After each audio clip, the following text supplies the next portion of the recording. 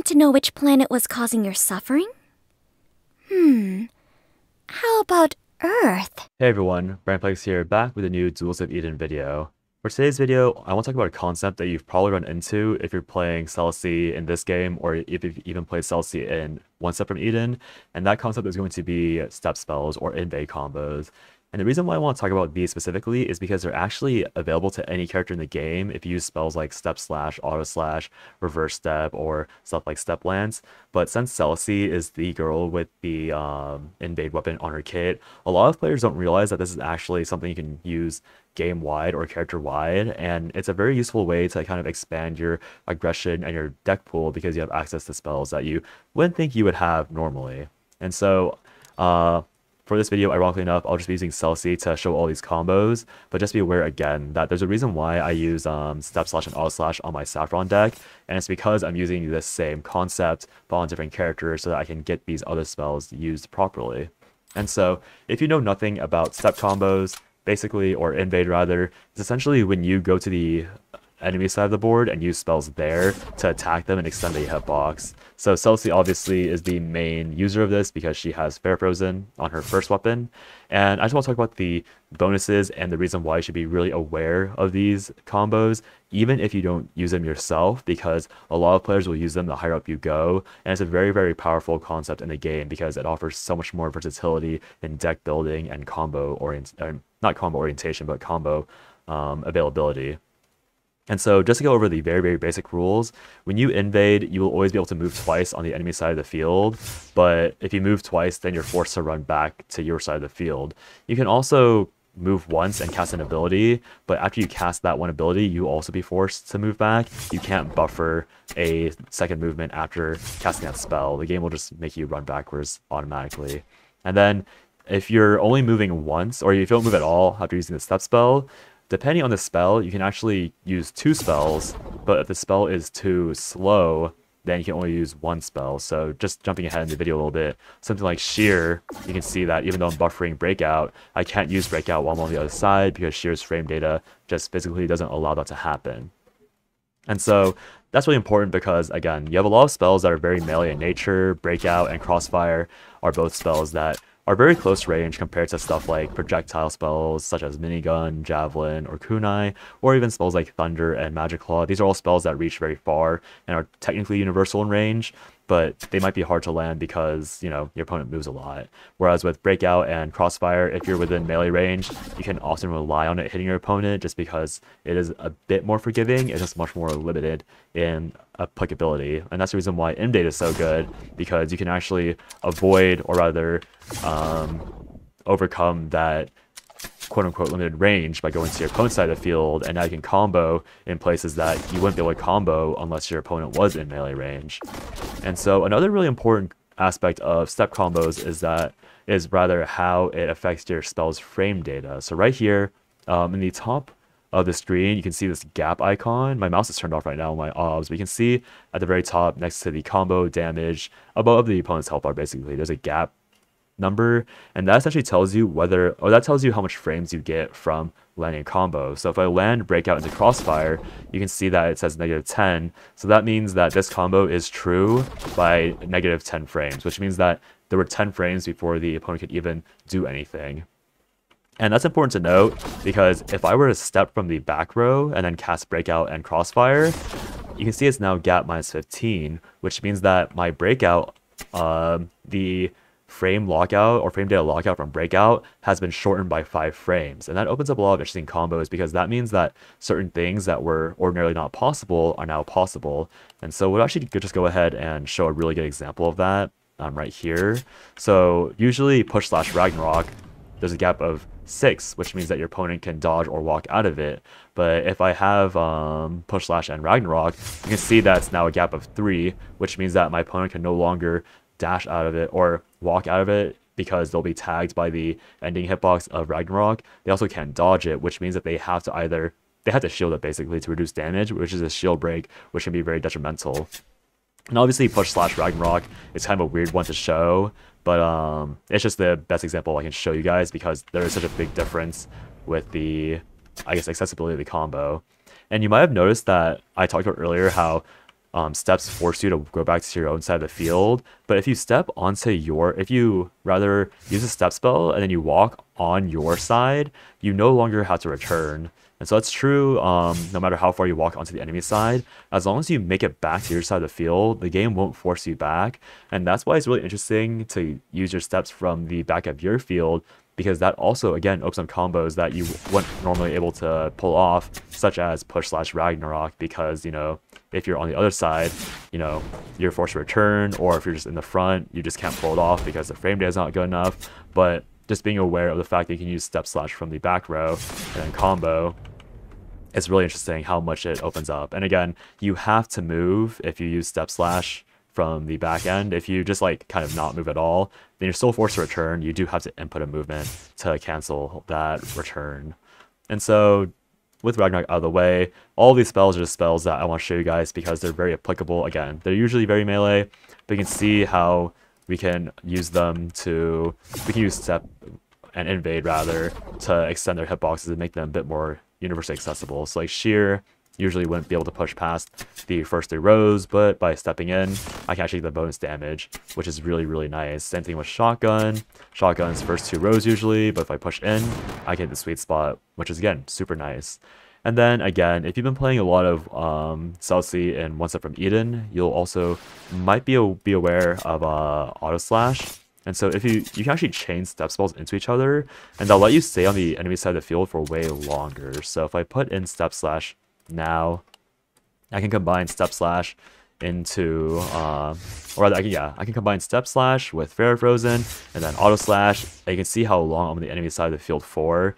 And so that can be a really um, pesky way to play the game because especially with lower level opponents, they won't know how to respond to somebody who's just constantly on the other side of the field. And so one of my friends um, who kind of like hopped in at some point uh, back in the beta, this is how he annoyed me because he would just run around and use spells that essentially kept me, kept him on my side of the field. So he would use like step slash and then fair frozen reverse, and you can just see how long you can be on the other side. And I to push these over here. So let me just do this properly so you guys can see the exact shenanigans that can happen. So it's like step slash fair frozen, and then you just stay over here the entire time.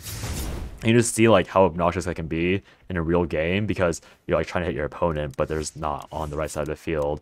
And again, the way the reason why that concept works is because you can chain invade spells into each other, but once again, it does follow the exact same rule as I said earlier, where you can only move once depending on the spell. Like you have to remember that you can't there's no rules being broken with another invade spell. You do still have to respect that, oh, you can only move once to hit it. And then that subsequent invade spell, I think inherits um, the same idea as the initial invade. So if you use another invade spell after the first invade spell, you can kind of move twice, but depending on how long you're on the other side of the field, sometimes you can't do other combos. So just I would suggest us lobbing these out as much as you can because the rules can change really easily from spell to spell and you just want to be aware of what you're getting into before you start really getting invested in something that you haven't checked. And so, again, auto slash is really useful because you can go step into auto slash and then extend all of your hitboxes. And I guess something that I should mention is that you also want to be careful of what spell you're using because sometimes the spells will just go off the map and then not do anything. So you can see Fire Breath is just doing absolutely nothing. And there's another spell like that uh, called Tri Thunder, but we'll talk about Tri Thunder when we get there. So Fire Breath, um, the actual usage is just to obviously extend your hitbox. And you can see that I'm getting a lot of value off of it even though um, I mean, a lot of value that I wouldn't normally be able to get out of it because I can now true combo into it and then hit my opponent with it. And then obviously with Auto Slash, I can use Auto Slash with Fire Breath. and You can see that's also a combo. And that's the reason why I want to talk about this combo because using Step Slash into Auto Slash is a very easy way to guarantee 8 damage. Maybe more if you have more. So like, for example, I can use Step Slash, Auto Slash into Fire Breath, and that's going to be a solid 13 damage that the opponent is going to take for sure because they're in hits on the entire time. And the only way they can play around that is by avoiding the Step Slash and then the Auto Slash following up afterwards, and then trying to punish you as you return to your tile, which you can uh, get out of by using Dodge, which is an advanced tip that you can explore in your own time. so with all that aside, again, more spells like Entangle, more spells like Sweeper, Salvo, Mistletoes, and oh, Sweeper Salvo Mistletoe. So these spells, again, step spells or invade combos are very interesting because they actually give you better frame data, as I mentioned earlier. Just like how I showed you guys earlier with like the push slash Ragnarok, it also applies to Sweeper and Salvo. So Sweeper and Salvo are generally very laggy abilities, but instead of being stuck to your tile, you can always mix up your um, Sweeper slash Salvo casts by using them after a step combo. So like here, I can force my opponent to respect my step combo or force them to try and look for a counter, and then I can either mind game them by running to the other corner and casting sweeper and hitting them and surprising them, or I can just go for the step slash and the sweeper, and if they're on the front rows because they're trying to be aggressive and they don't realize I have sweeper, then that's a true combo or nearly true combo in the sweeper that they might not be aware of, and if your opponent is a bit more fresh to the game, then they're going to be hit by that and not shielded in time because they're being they're too distracted by the fact that you just stepped and they're casting other abilities. And so that's again very applicable with salvo. You just cast a salvo during your step, and that gives you the frame data and a bit more flexibility with how you're going to escape because you can even, uh, again, you can cover your cast, you can cover your approach, you can do a lot of stuff. You can even just salvo into step slash and do more with that. And again, this is just a spell that really covers a lot of, it just enables all the flexibility that you wouldn't normally have in the game.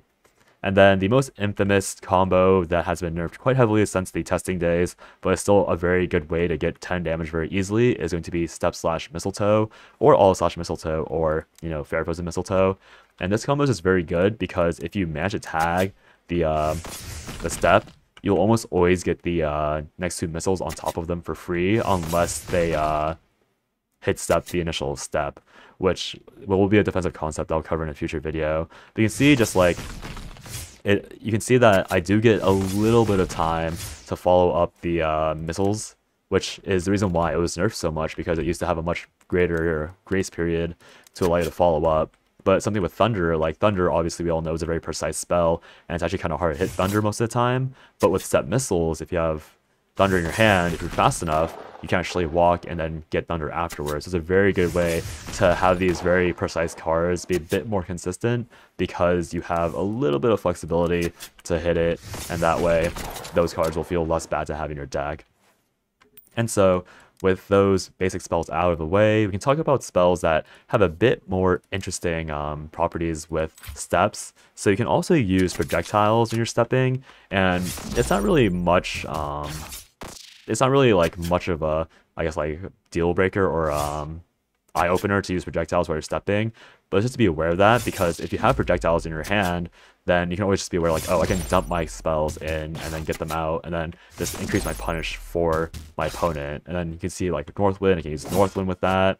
But it's a bit different because only certain projectile spells will allow you to continue comboing after you hit that spell. So this is a good time to mention this. So channeled spells, when you step, they'll continue to keep going after you step.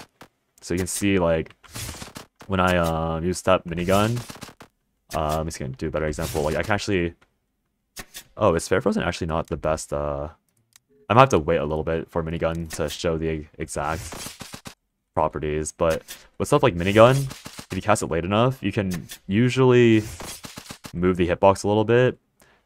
Uh, I think move immediately.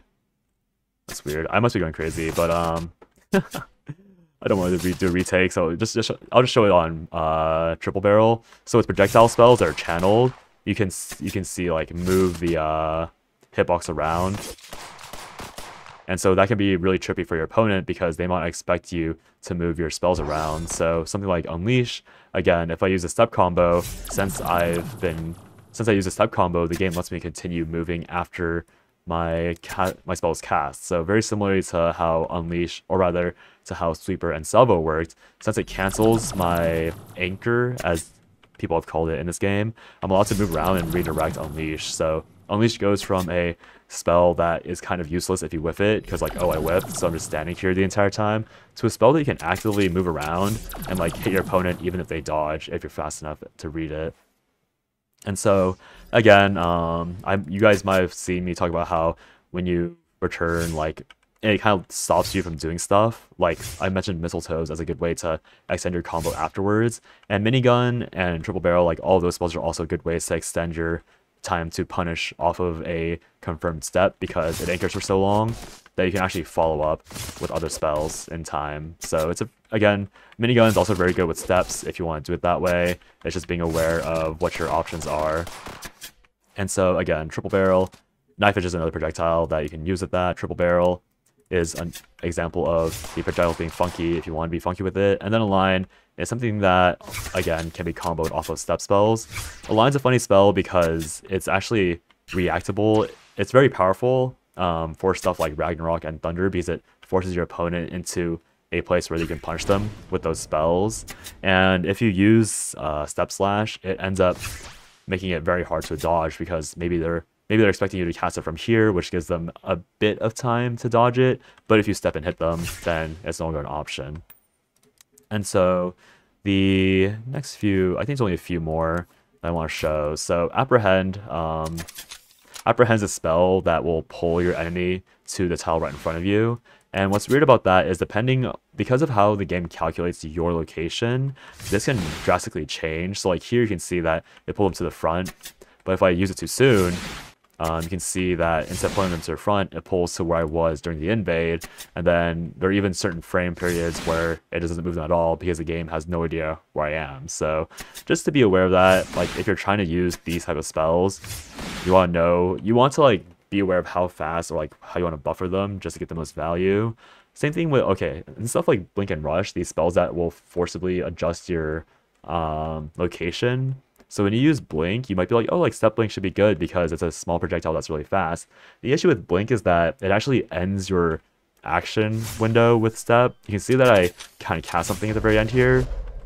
And you can continue casting spells, but since it forces you to the back, like, unless your opponent is in the back, then you won't be able to do much afterwards. And then same thing with stuff like Rush. Um, Rush is a funny spell because if you if you if there's nothing in front of you, then it'll force you all the way to the back of your opponent's uh, map. But if, if there's something in front of you, then it'll stop it properly. So stuff like Rush, like let's say I'm trying to hit my opponent like diagonally like this. In the past, Rush would just explode where the Selicy was standing and get me the damage, but since it's been changed, it forces me all the way to the back. So in order to get Rush damage, your opponent either has to be on the back column or you have to collide with them. So you can see that here, I get the Rush combo, but if I'm standing here, I wouldn't.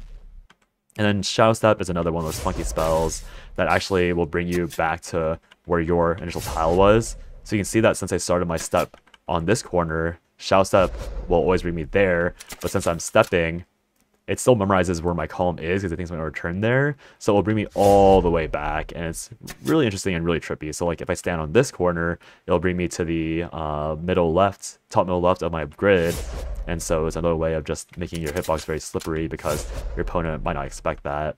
And then other stuff, uh, Acid Rain is kind of similar to Minigun and Triple Barrel, where the uh, hitbox will adjust actively depending on where you are when you cast it because of how long its casting time is. So if your opponent's like trying to like a dodge acid rain, you can manipulate it to make it hard to dodge. But also be aware that if you are manipulating the hitbox, then you don't want to accidentally let your opponent get out of the hitbox because you've stepped out and then now you obviously missed the other hit.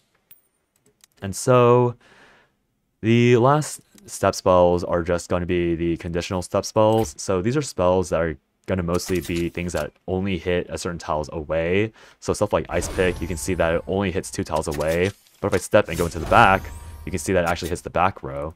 And that's not necessarily going to be true for every um, one of these spells. Like, if I go with Tri Thunder and as we saw with Fire Breath earlier, certain spells that will hit a certain amount, certain amount of tiles away don't have the privilege of getting the cast on the last row just for, I guess, like design reasons. You can see Tri Thunder, um, it casts three Thunders, three, four, five tiles away, but if I cast it in the back row, you don't even get the sound effect because it's going off the map. So those spells aside, every other spell that I've chosen is a spell that will lock to the back row, so don't be too wary of that. So stuff like um, Ice Pick, obviously, if you're gonna be, if you're aware enough, you can like walk backwards and cast it and still get the combo off, and then obviously you can just use it normally.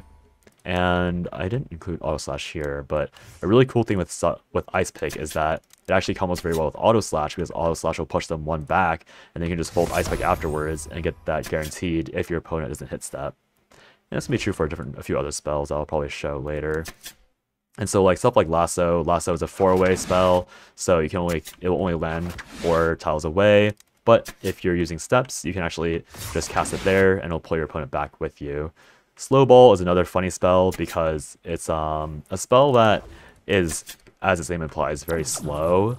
But if you notice where it spawns, if I go frame by frame, you can see it spawns right in front of me.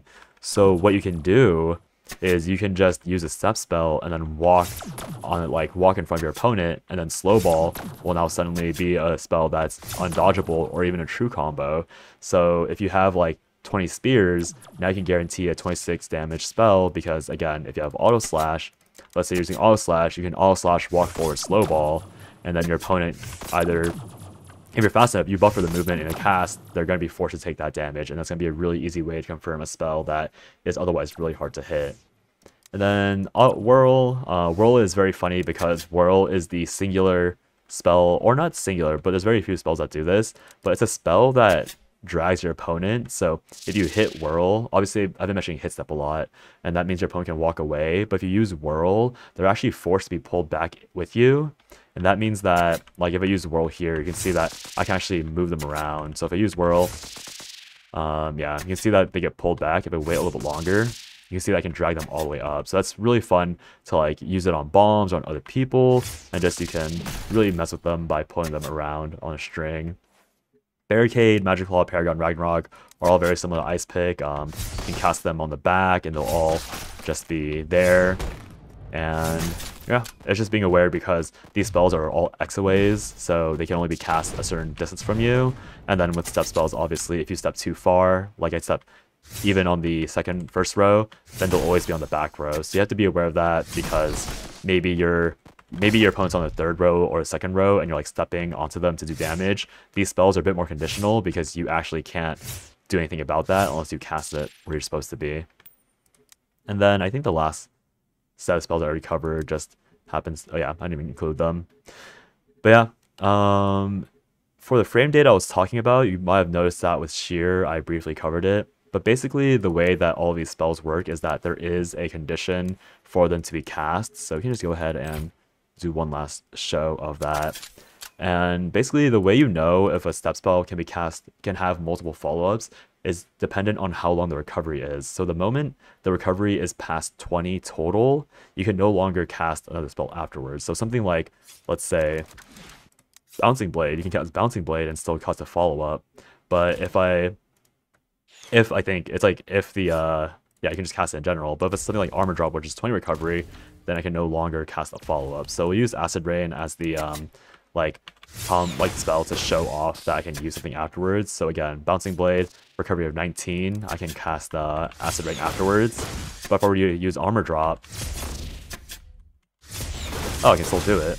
So maybe it's a little more. I thought I did the math earlier, so I didn't bother double checking, but it's somewhere between 20, 21, or 22 was the threshold of um being able to cast.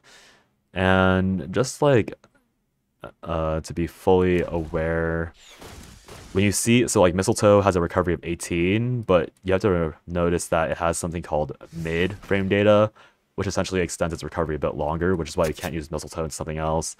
So looks like it's 22 recovery. That's the breakpoint. So at 22 recovery you can no longer cast another spell. So let's make sure that i'm not going insane This is a very uh, awkward end to the video, but it's a very long video and I don't have time to do another recording, so I'm just trying to figure out where the, uh, where the point is where, that's weird. Is it because Bouncing Blade's too short? Huh.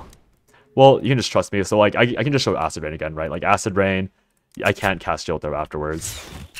But if I use Shield Throw, then I use Acid Rain. So, again, there's a certain threshold in recovery that you can no longer use spells after. And again, I thought I thought it was shorter than what it is now, but must be longer than expected. So just keep that in mind. Uh, it's definitely like sheer is the definitive threshold for it. Maybe it's flame breath. Let's see.